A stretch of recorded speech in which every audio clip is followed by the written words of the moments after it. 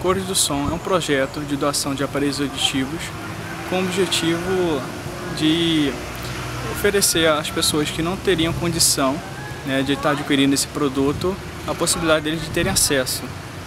Gente, nosso objetivo é de melhorar a qualidade de vida dessas pessoas que não teriam um tratamento apropriado. O Cores do Som está começando hoje, hoje é a nossa primeira doação e temos o objetivo de chegar até final de 2015 com 50 aparelhos doados.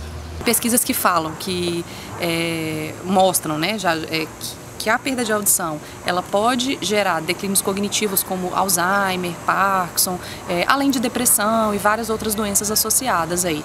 Né? A gente tem perda de audição associada a risco de queda, então são alguns estudos que mostram esses, e é muito comum nos idosos. Né?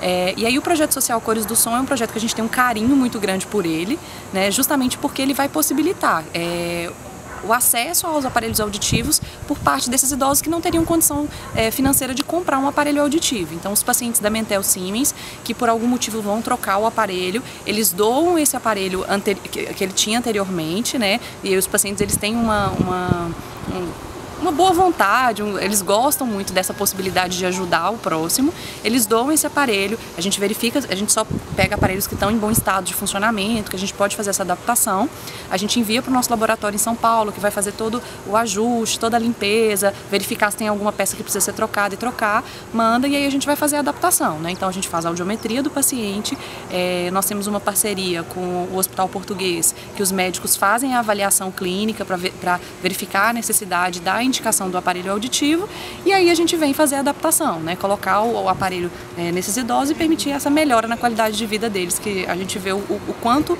é, a, a pessoa se restabelece quando ela passa a ouvir novamente. E como é que o senhor se sente agora recebendo esse aparelho ah, auditivo? Ah, eu me sinto bem melhor. Tá. Até, até mesmo eu estou ouvindo a mim mesmo. Ouvindo bem, né? Acho que vai tudo bem agora.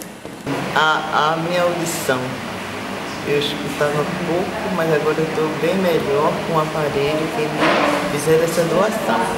A senhora está feliz porque a senhora está feliz? Agradeço bastante a toda a direção do abrigo e a direção da empresa que fez essa doação. Ela tem que ficar bem justinha aqui, ó. Bem junto na orelha, tá vendo? Ó.